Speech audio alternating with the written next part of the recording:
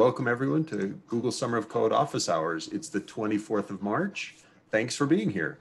Uh, yes, reminder, let's behave according to the Jenkins Code of Conduct. Be nice to each other. Sagar, I believe you had a question or you had you wanted to share with us some progress you've made on your proposal. So, and we've got Gareth on the line who, can, who may be able to help and guide. Yeah, so I made a proposal for the Cloud Events plugin for Jenkins. And uh, um, basically in that plugin, there are mainly two modules, the emitter and the listener one. And um, and I made the I made the proposal um, the for the first module um, with um, by looking into the first I looked in the source code of the statics gatherer plugin and I made it with respect to that because our plugin is mostly like that. So I shared my uh, Google Doc in the chat link. Maybe you can look at look at it. Yeah, yeah, good. Excellent, thank you. So, and that's that's a that's a good behavior that we want to reinforce. The sooner we get publicly shared project proposals, the more effective we can be as reviewers of those project proposals to help guide you and others can look at them and say, ah, yes, that's how a good project proposal works. Or look, here's what the feedback was from the reviewers on that project proposal. Very good. Yeah, thank you. Uh, regarding that proposal, uh, hello everyone. Hello. Uh, like uh, I'm working on uh, the plugin like uh, plugin tool, plugin manager tool improvement. That project idea. So on that idea, like uh, there are various issues which are mentioned, like which are labeled as enhancement on the issue, like GitHub issue tracker.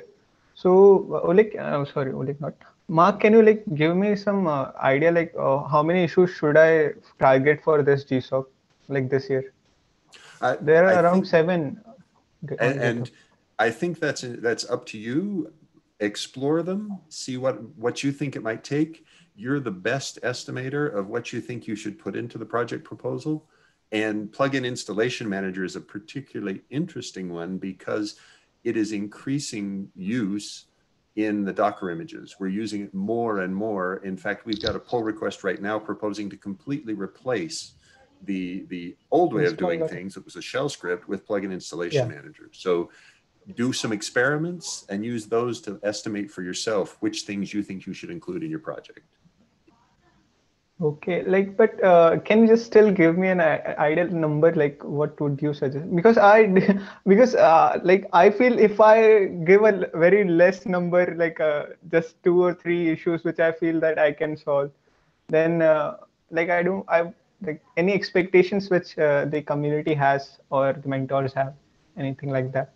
I actually no, and, and let me. I've got Rishab on the on the call, so so this is a great Yeah, excuse sure. to explain why there isn't an expectation. So, Rishab last year worked on one issue, right? One issue. It was improve the performance of the Git plugin. That was one, Uh, and that one issue took full time for four months, wasn't it, Rishab? I mean, we Yeah, spent four we spent he spent months on that one issue. So so if it's one and it's a big one, that's perfectly fine. If it's several small, that's also okay.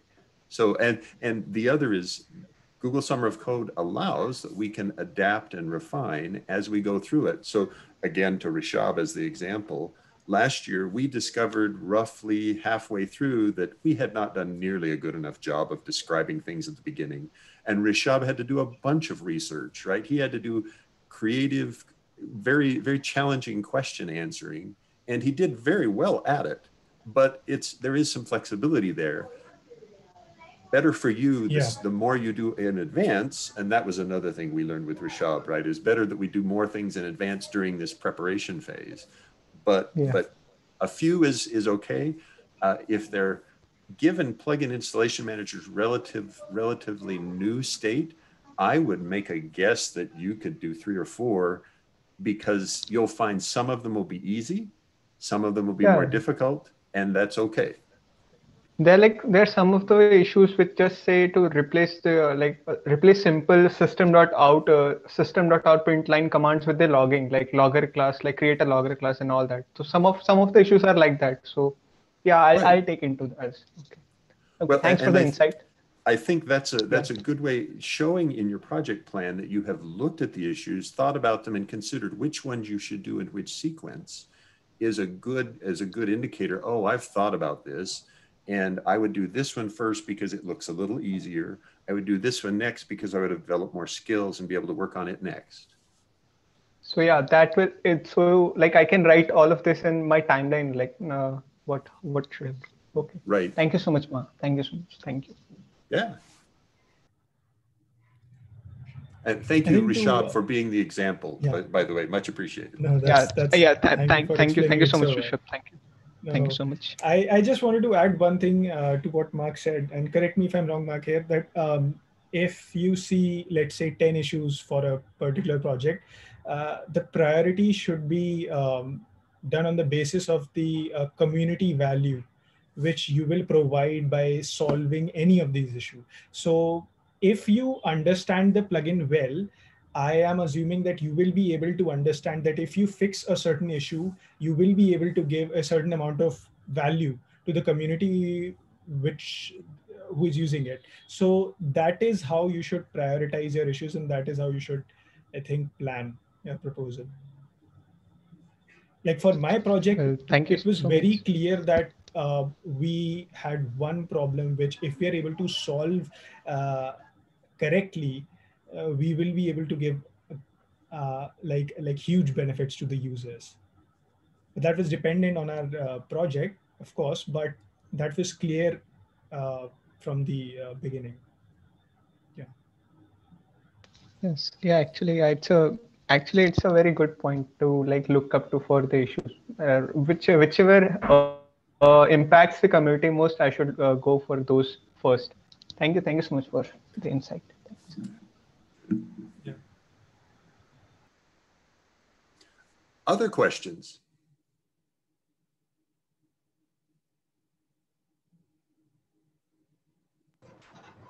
Um, I have a question, but that's regarding related code. Uh, so is it fine? Is, uh, so um, is it fine to ask here? I mean, it's more like of a coding question. Okay. okay. So,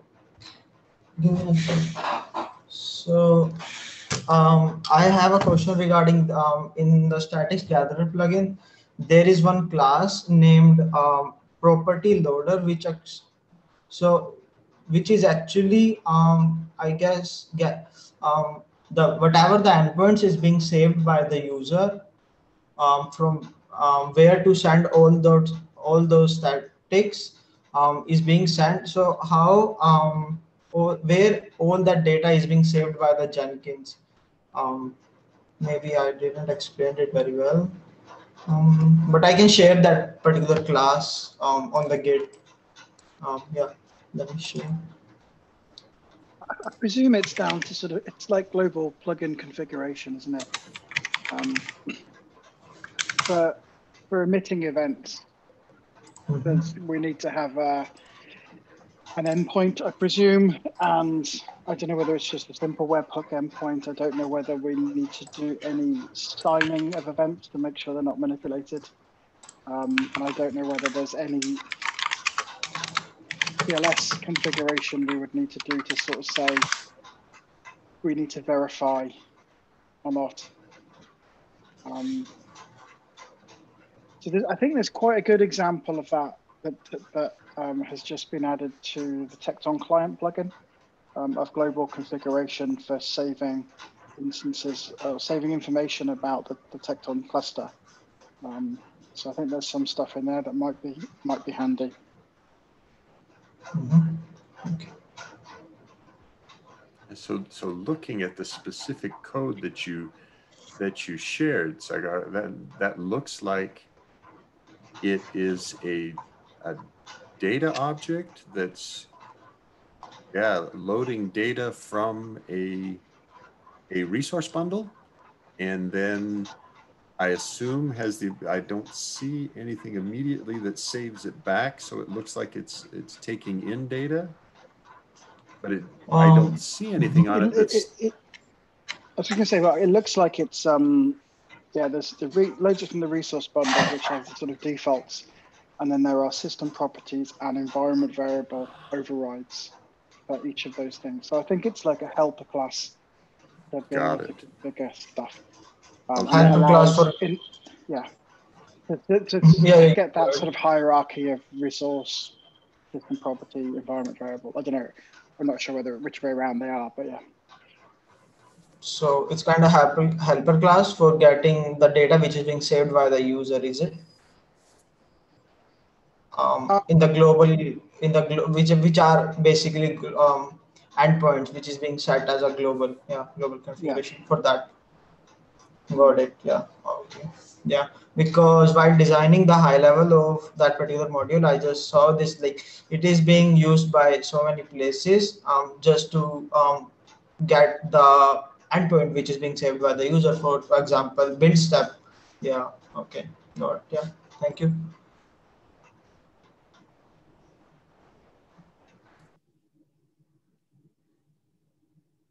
And so, so Gareth, just for my benefit, that's that's a pattern that, in my inexperience, I hadn't seen before. So, it, as you were saying, it appears to be using bringing default settings in from a property file that's built with the packaged with the plugin, and then allows the user to to alter those default settings, and and it, retain, it remembers the altered settings. Did I understand what you were describing? I think so. Yeah, it looks like it looks like it, it, it seems to give a bit of a. So it's like if I'm looking at sort of one of the values, uh, I don't know, AWS region, for instance, it tries to load it from the configuration, which if it's set that it returns that, otherwise it tries to um, get it from an environment variable. Hmm. It says an environment property, but I think environment property could be a system property or a environment variable, or even a something in the resource bundle. There's a hierarchy in there. So it looks like there's like four places that it could it goes to to try to look at these things one at a time. Thank you. Uh, and So- presumably because it's looking at the actual system configuration first, anything that you've set in there is going to override it. But I suppose it's there to give you kind of sensible defaults for all of the values that you'll need, which, which sounds good. Although, like, I don't know how you would do that for a webhook URL because we have no way of guessing what a sensible default for that would be.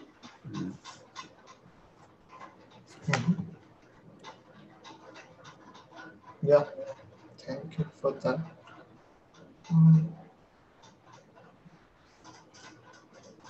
And what's the purpose? There is one class which is also uh, which is exactly Logback um Logback is it is that um is that uh, is familiar with jenkins while making any plugin?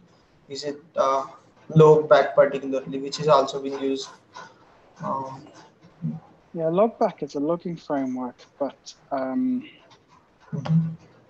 I know that you can use Logback to send log event, log messages to a HTTP endpoint. So I'm wondering whether that's if that's what it is. Um, I, I think it's think of it. It's just configuration properties. It's kind of a way of abstracting. those out.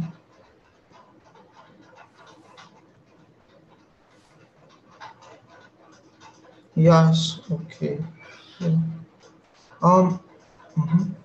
Um, Gareth, um, just, just, just specific, um, in property loader.java, I just wanna know the functionality of, um, get build set, get build step endpoint. I mean, that function, um, what, uh, what exactly that actually doing? I'm just, I'm, I'm unable to understand it exactly. Um, there is a one fu- function on line number one one five um, get build step endpoint. Maybe um, that's enough for me for that class to understand what is it doing.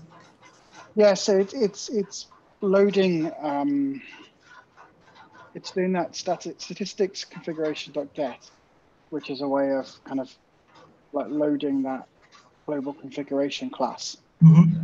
Um, Yeah. and that will be based on the you know Jenkins's XML files that it stores on the disk, and then from that it's calling a property, you know, get build step URL. So that's the particular property that it's getting. Now, if that has been set, it's going to return that. Mm-hmm. if it's not been set, it's going to go into that get environment property function. Um, and that get environment property function um, basically call it, it calls the get instance get property and that get property um, can look at it looks at environment variables first, I think, then it's resource bundles next. So, so that's that's pro providing an a high, the what you were describing earlier is the hierarchy of overriding, right? So, plugin yeah. defaults are lowest priority. It looks like, and then if I set something as a property starting Jenkins or in an environment variable to match this, it would use that instead. Did I did I understand that correctly, Gareth? Yes, and I think at the highest level, it's whatever configuration you've actually entered in on the global configuration. Page. Which it, it sounds it sounds like quite a nice, sensible hierarchy of stuff, really. Mm -hmm. Oh, it, it, it looks like it looks like it looks like a good pattern to use for this type of global configuration information. Yeah. Okay. I don't know if the Jenkins documentation actually goes into this level of detail for global config. Not, not as far as I know. Uh, it seems like a, it, it looks like a very good pattern. Certainly does. Yeah. I'm wondering if there is a recommended hierarchy of properties and overrides to use. Mm. I know different plugins have maybe slightly different conventions. I'm not sure what the Jenkins best practice is for that. Right. So it's just basically a hierarchy where people are just overriding and Jenkins is going to use that particular assign. Yeah. Got it, yeah. I'm just currently writing the high level, so that would be, yeah. Because the other thing you'll want is, I mean, there's obviously that statistics configuration class. You'll want your own version of that. Um, and that will need to work with, or you'll will want that to work with JCASC as well. So there are particular guidelines for making sure that that global configuration ends up in, or is compatible with the configuration as code plugin. Mm -hmm. Yeah.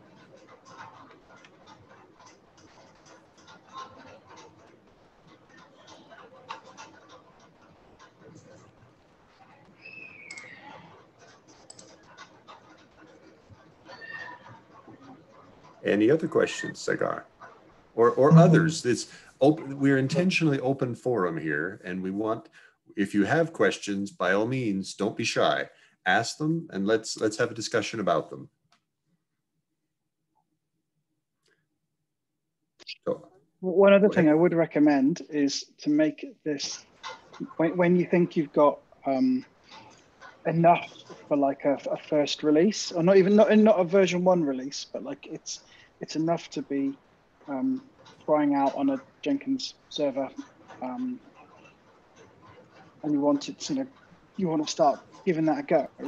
Um, if you, if, I'm happy if you want to reach out and we can, I can show you the JEP 229 stuff that we're doing on the Tekton client plugin, where every every interesting merge to master creates a new release automatically, and that release is uploaded, and it happens directly from GitHub. So it's quite it's quite nice. I like that. That's that's a very good idea. So so just to reinforce what Gareth was saying, we now have a facility that is being more actively used in the Jenkins project where you can allow automatic release of next version of your plugin, next version of your component just by either using a specific label on the on the commit on the pull request that you merged or if I remember correctly, is it also tag dependent? I know labels will do it. All I have to do is do a label. Yeah, it, it it's the interesting label thing. It, it, it, it's part of release drafters um, notion of an interesting category. Um, mm. So anything that's marked as a bug or an, an enhancement or a feature or something like that will automatically get a release created when that feature is when that pull request is merged. Um, and the reason that's done is so that there's there's not a large amount of churn when it comes to things like dependency updates or documentation updates or things like that. Um, yeah, Oleg, you can, Oleg can correct me if I've got that wrong, but I think that is what it's there for. So I'm I am one of the fortunate users of that particular thing. I've converted one of the plugins that I maintain to use JEP 229 and have been delighted with the results. I make a change that is irrelevant and it doesn't release it because I labeled it appropriately. When I want to release it, I just label it and it releases. It's I didn't have to do anything more than, than merge the pull request. Mm -hmm. And um, it's actually a very important part of the current Jenkins community discussions because uh, software delivery pipelines uh, become a really important topic uh, this month uh, after the SolarWinds hacks and previous hacks before. So in the case of Jenkins project, we also have, want to have a rock solid delivery pipeline. Um, and there are some opportunities for improvement. Uh, we, have been discussing at the previous contributor summit and we'll keep discussing in the future.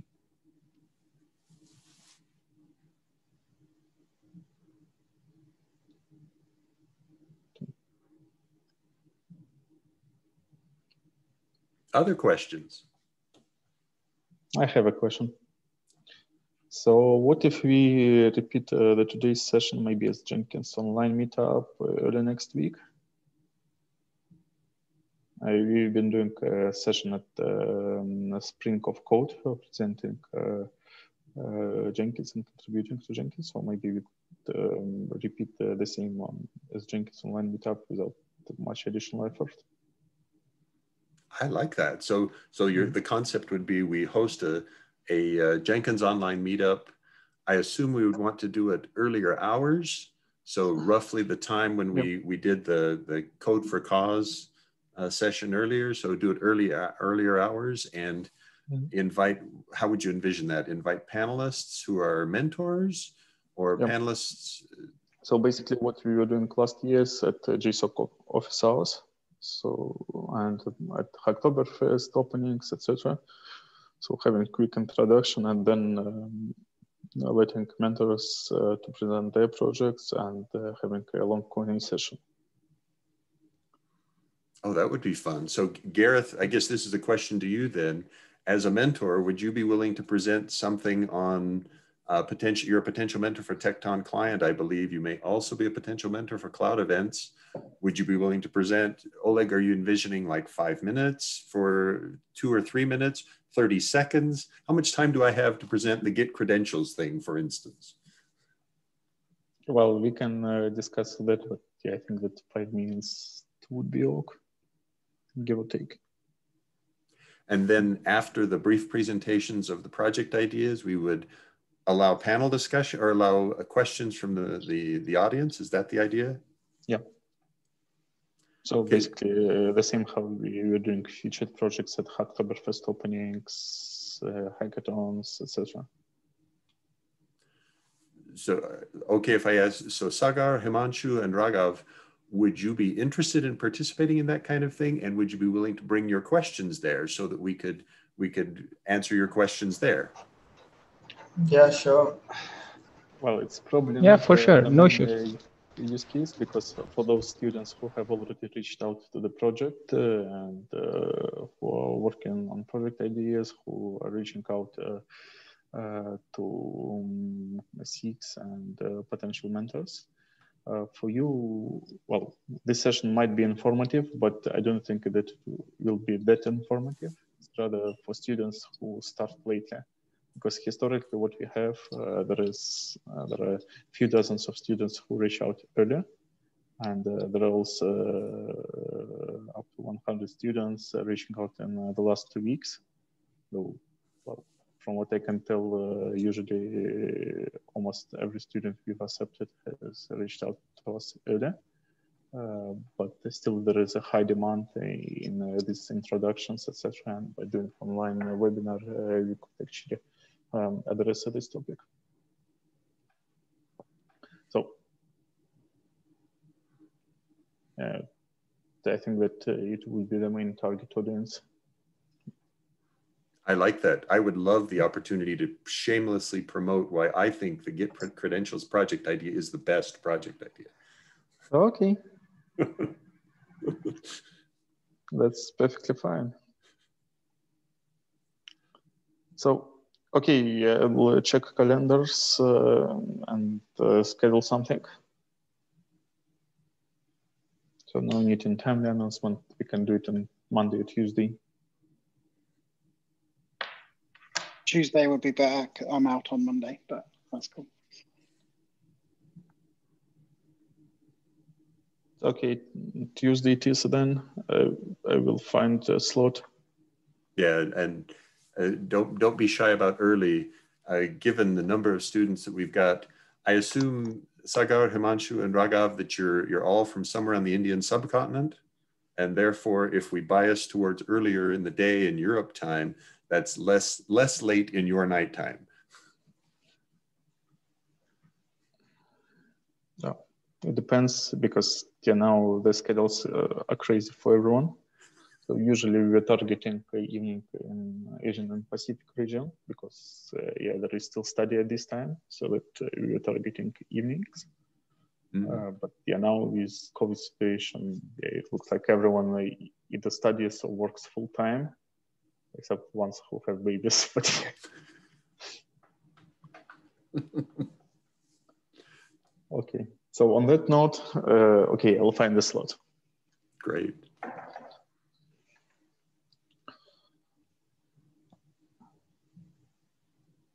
So any other topics or questions for today? Uh, actually, I have a few questions uh, regarding that plugin installation manager tool enhancement, like the issues which are labeled as enhancements. Uh, I was like looking into what I can uh, work on. Uh, there were there was one issue: uh, split CLI to subcommands and migrate migrate to picocli. Like I did not understand by what did you mean by subcommands? Like what was okay. Uh, so plugin installation manager tool it actually serves multiple purposes. So firstly, you can upgrade plugins, but also there is, for example, command to check for upgrades, uh, just list available updates um, or for example, uh, to print help, etc. And historically, when uh, these CLI interfaces uh, include multiple actions, they tend to be overcomplicated. And actually, Plugin Installation Manager is a good example of that. Just a second, I can show to you.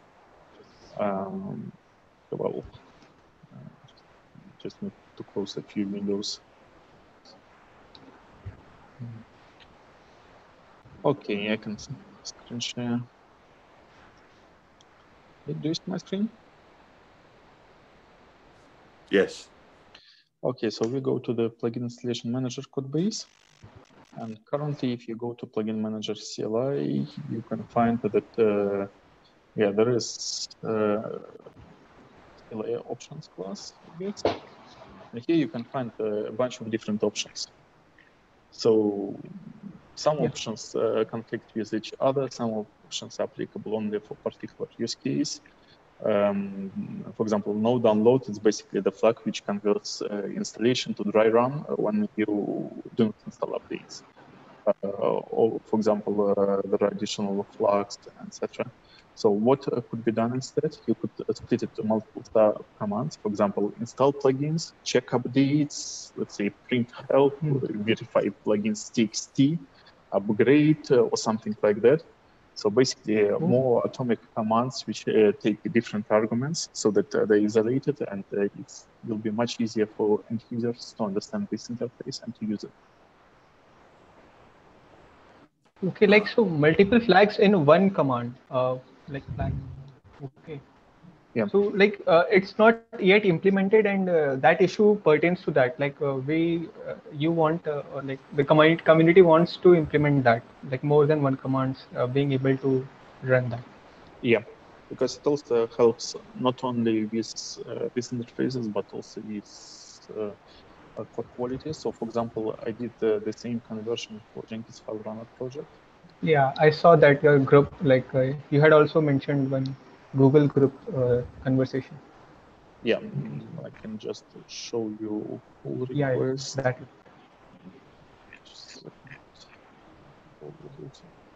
Uh, yeah, this one. So here, for example, what you can see that, uh, yeah, apart from documentation and other things, so you can see that I split uh, one interface uh, to multiple subcommands like run CLI, list plugins, generate completion, etc. So it's also uh, embedded into picocli.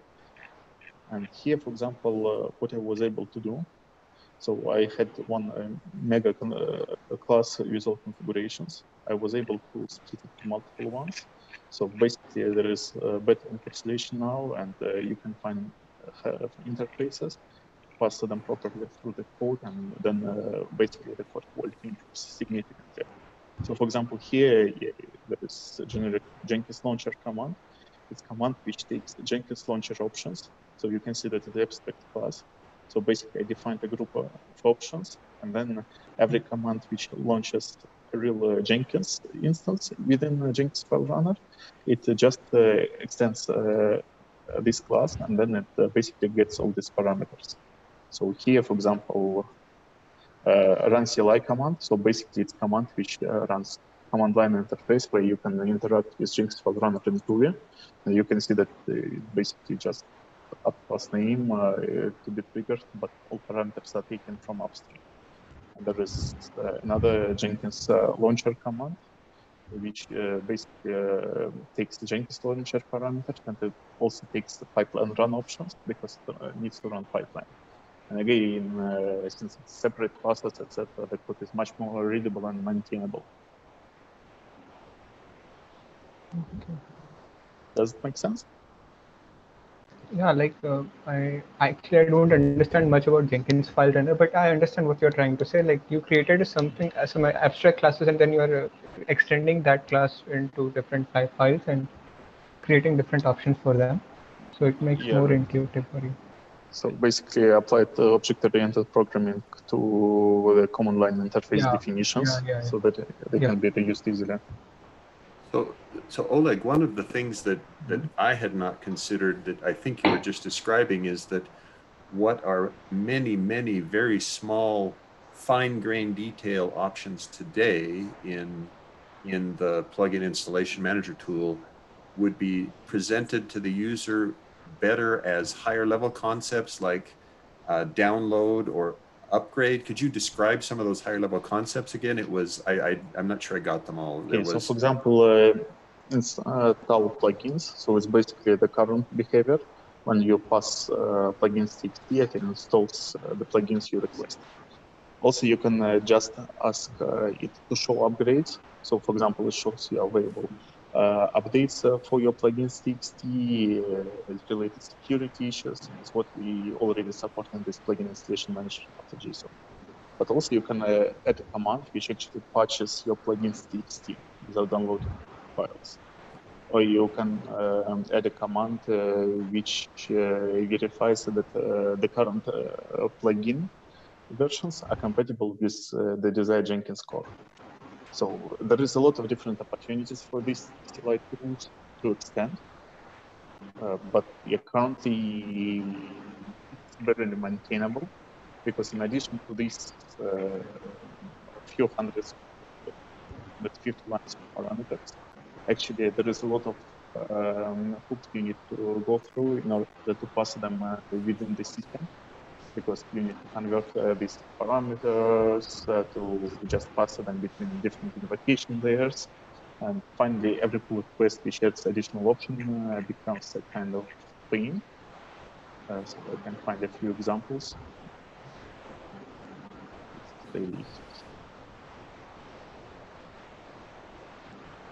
So for example, uh, we know that, for example, uh, plugin installation manager doesn't doesn't support proxy settings now and it would require several additional parameters. Um, okay, so here a support for Jenkins version argument. Uh, so it's just example where you would probably want to just uh, uh, a few lines of code, but you can see that it's actually 160 because here I added additional option then uh, I need to pass this option to configuration builder. It's a class in the plugin installation manager library. So you can see that uh, there is method, uh, which I passed to downstream. There is also getter method because it's used in tests. Uh, then, for example, here, um, version number converts because I need to convert parameter to the right format. Uh, and then if you scroll down, you can see that there is also configuration uh, file in the library, which also includes version number, which you pass through constructor, then you extract it through getter. Uh, so that uh, somewhere inside the code, inside plugin manager implementation, it finally reads this version and does something.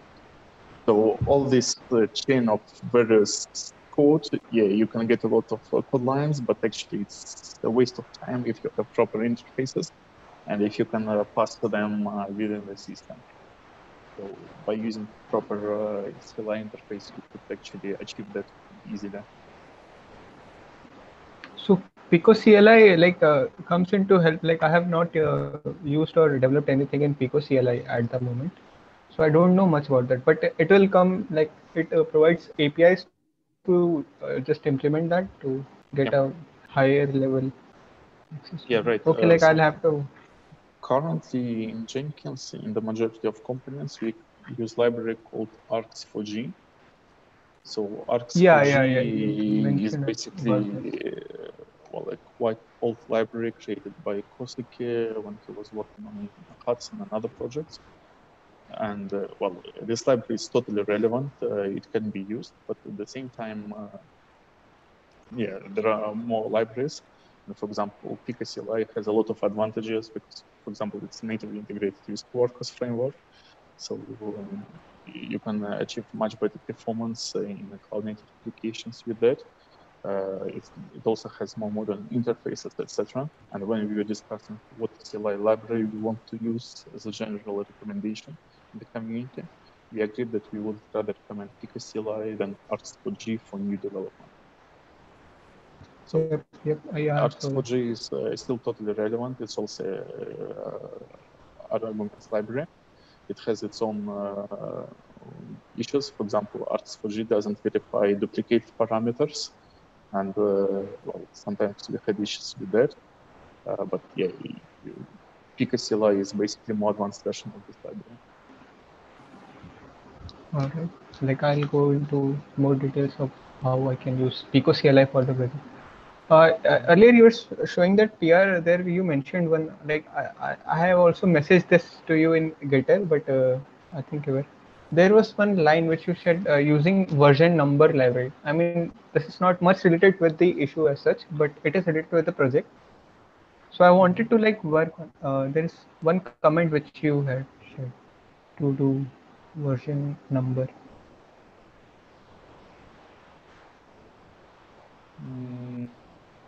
version number.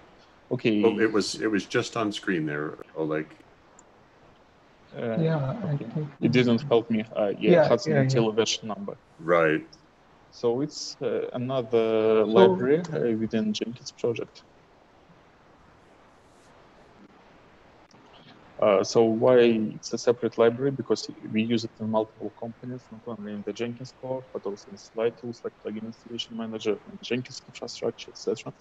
So it's basically a standalone library which has not that much codes inside. Uh, it has actually just a few classes. So one is version number. It's a class which supports parsing version from different formats and comparing these versions so that we can say which version is newer, etc. So yeah, this is basically this class. And uh, recently we added a similar class Java specification version when we were working on uh, uh, Java 11 support because uh, Java has implemented change in version formats.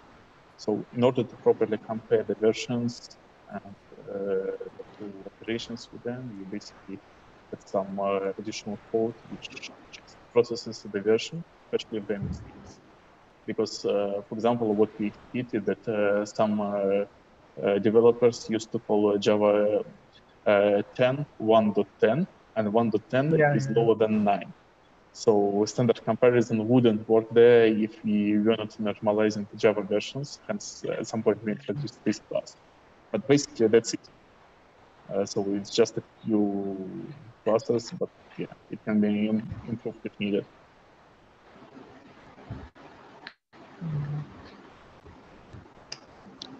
Okay, so I'll just uh, like uh, I saw a use of that. Like I thought maybe there's something to work upon, like some kind of minor issue type, like so that I can get going in contributing to plugin installation manager for that.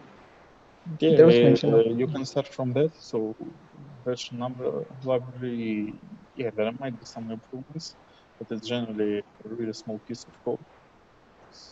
So Yeah, I don't think that there are issues in this library process. Obviously you can say that, hey, your Java version format doesn't support Java 17.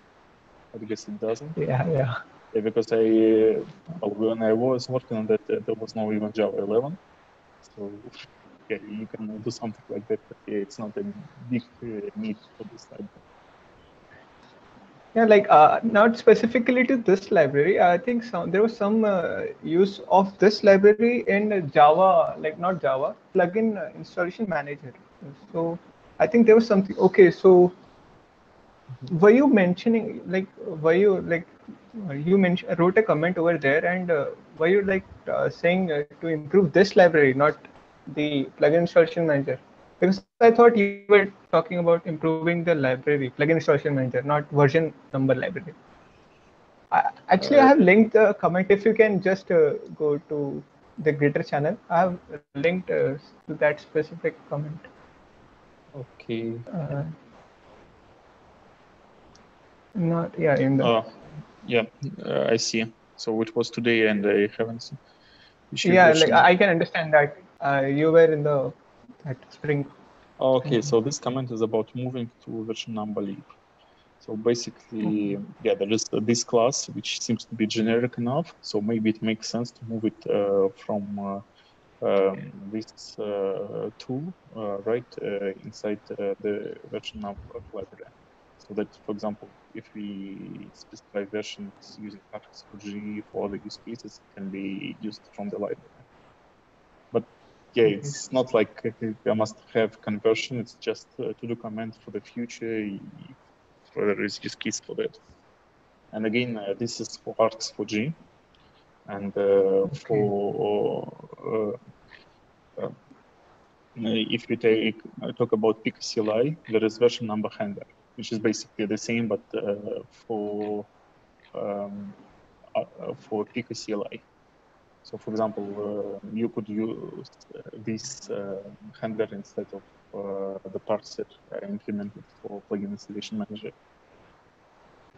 Sure. Like I'll, then I'll have to see the APIs of picocli, like version handling and all that. Yeah. All right, I'll, I'll, I'll look into that. And, uh,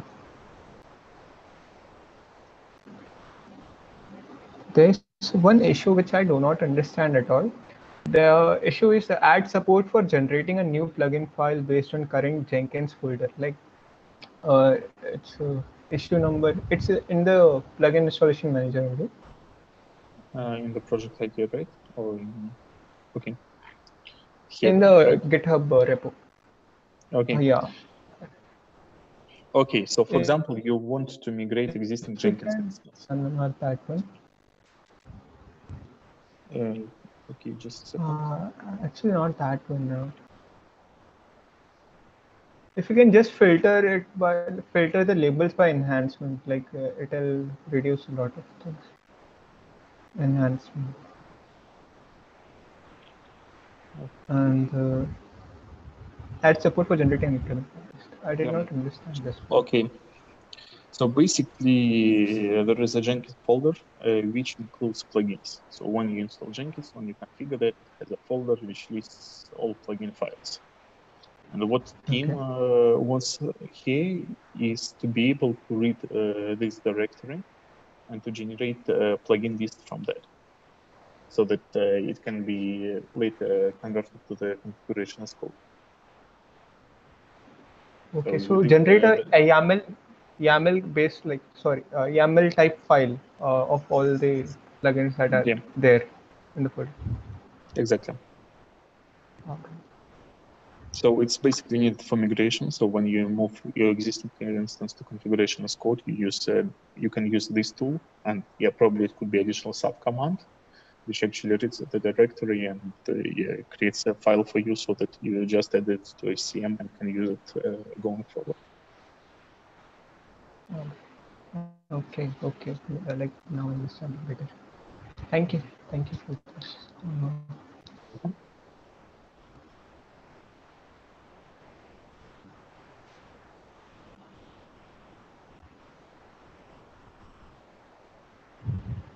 Mm, one more thing if you if you still have time sorry like i'm taking too much time today uh, like uh, continuing into the issues not not in this issue there is one more issue uh, the issue is add support for jenkins bom as a source of plugin versions when using yaml or text Okay. BOM Oh yeah. yeah this is created by me. So yeah we you have um, this bill of materials. This bill of materials basically provides a cross-verified uh, list of uh, version plugins. So, for example, uh, there was a release 16 days ago, and this release includes um, basically a list of uh, uh, plugin versions which have been verified against each other, so that we uh, launched the integration tests, the functional tests, and confirmed that plugins work with each other. You can see that there are some updates completed in this release. And the idea is that instead of uh, specifying versions explicitly in a plugins TXT for plugin installation manager, you could refer this version so that uh, plugin installation manager uh, takes versions from this file. So basically, you just uh, use uh, this file um, as a source of versions and do not define it explicitly. Then, if you decide that you want to update, you just say that instead of BOM version 26, I want uh, BOM version 27 and then plugin installation manager does all the installation. Of plugins you need. all right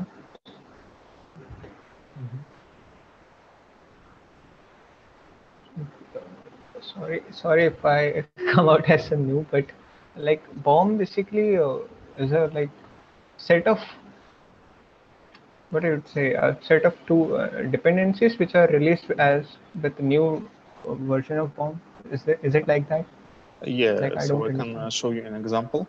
Are you familiar with Maven? sorry Are you familiar with Maven?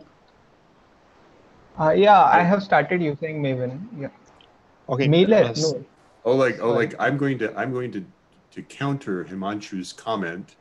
I don't think I'm familiar with Maven, and I've used it for years. You should give a basic overview. Maven. Okay. Himanshu, no offense. I'm not trying to be I- offensive. no, I'm just saying that actually in, in I- asking yeah, the question, are you familiar with Maven? anyway, so please no, no panic. Okay, so there is example of Jenkins plugin, Mailer plugin. Here Okay. we have basically dependencies on multiple plugin versions, Java libraries, etc. And here you can see that uh, we declare a list of dependencies. Some of the dependencies have explicit versions specified, for example, uh, Java XMail, instance identity, etc. So here you specify the version explicitly, and this is the version Maven will use. But for some uh, companies, you can see that the version isn't provided. So for example, display URL API plugin, JUnit plugin, maybe something else in this list, I'm not sure. Yeah, for example, pipeline, etc. So these are also plugins we test with because there are pipeline steps we want to verify. And here there is no version specified. So this version actually comes from the bill of materials, which is defined in dependency management. So here we use a bill of materials for Jenkins core baseline 2.235. So it's LTS baseline and version 26. Then when Maven uh, builds uh, the plugin, it takes uh, the list of dependencies from here. And basically you can do the same for plugin installation manager. So instead of, have an example? I guess here I still use plugins txt. Yeah, so plugins txt. So this is a file you can uh, actually feed to plugin installation manager. And you can see that uh, there are just 86 plugins I installed. And all these plugins have versions, and it means that uh, somebody would have to manage these versions. It could be manual way, you just go through the list, install updates, or you could use automation tools. So for example, here, um, yeah, use the plugin installation manager to check for updates. So make file uh, uh, show updates. You can see that I just invoke plugin installation manager against this file, and it shows me the plugins I need to update. And after that, uh, yeah, I would still need to go to this file and patch them. Or once there is a command which patches them for me automatically, I could automate that. Well, I have it automated somewhere else, but yeah, doesn't really matter. But uh, it would be much more easier for me to say that instead of all these dependencies, for the most of them, I don't really care about which version. I just want uh, the system to work. I could say that uh, please take uh, the version, let's say, of ACE editor plugin, of pipeline plugins from bill of materials. So you don't manage it uh, on your own. Instead of that, uh, you use uh, this BOM, which is already mm. cross-verified and for which you have some confidence that this plugin set would work. And you don't manage it on your own. You just specify the version of the BOM. So instead of 30 dependency versions, you just have one. Okay, okay, okay.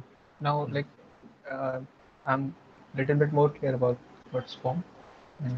Okay, so yeah, BOM is literally bill of materials. It's not a software engineering term originally. It's rather a generic uh, factory term. So it, it's just a list of all materials you need to produce something. So, well, basically the same in software now.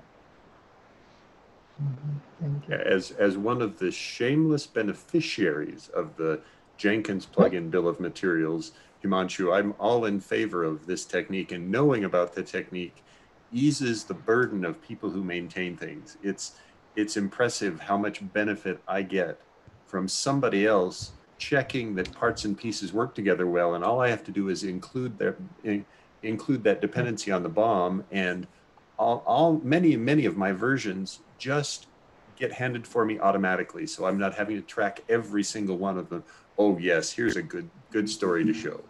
Yeah, and for the record, somebody uh, who is maintaining this version is mostly uh, full Dependabot and who Jenkins building his pull request. And then somebody just approving them after everything passes. Right. Nice. So this part is automated as well. Great. So this means actually more work for the one who is like trying to find the like trying to update from BOM and all that stuff, right? like whoever is wishes to like go into this, they'll have to do a lot. All right. Well, yeah, it is that it is that there's a machine that so a, a program that generates these proposed changes and the continuous integration process evaluates them and if they hmm. pass they just get merged it's it's a very elegant elegant elegant thing yeah very reliable thing of course um, Oleg, can you repeat that part again? Like um, BOM, how? Um, so there are thousands of millions of let's say software. So how BOM is managing all of their um, versions? Um, how they are fetching? Okay, so bill of materials doesn't uh, manage all uh, hundreds of thousands of dependencies. It just manages mm -hmm. the dependencies it was asked to manage. So for example, ah. here, if you go to BOM uh, latest, uh, let's see, you have a number of plugins which we support. And for the record, it's not all Jenkins plugins, it's, it's a subset which continuously grows, uh, but it's a subset of plugins. And for each plugin, we have version, uh, and then basically we have dependabot which verifies this file and uh, just uh, this one the available in our uh, main uh, but yeah, this is the specification you have. So it's not an extensive list, it's just a list of what was added to the bill of materials. So is it manually being updated by somebody or is it automated process? Uh, it was added manually originally, but the version update is automatic. So what happens, oh. uh, yeah, Dependabot is one of automation tools, part of GitHub at the moment it uh, checks uh, Maven repository, uh, and if it sees any available updates, it submits a pull request. For example, here's a pull request which was submitted five days ago. It updates matrix authorization plugin. here you can see that there are some release notes, so there was a security fix. Um, so what happens with that? The dependabot submits a pull request. Then Jenkins uh, gets uh, a notification from GitHub and starts the build. And uh, here you can see that the build has passed, so it was uh, automatic. And here you can see all the tests which were executed, exe uh, tests and uh, well, it's uh, test sets. You can see that everything is passing. So integration steps, for particular plugins and Jenkins versions. Uh, you, if you need to see details, you can navigate the Jenkins web interface and edit it. yeah, so it's GitHub check, but you can also see results in Notion, for example. So we have executed uh, uh, 21,000 tests uh, in, from different plugins, from different components to verify this plugin. And yeah, then uh, when everything has passed, Jenkins uh, shows a green tick so that maintainer can say that, okay, we passed all the test series, we can merge it.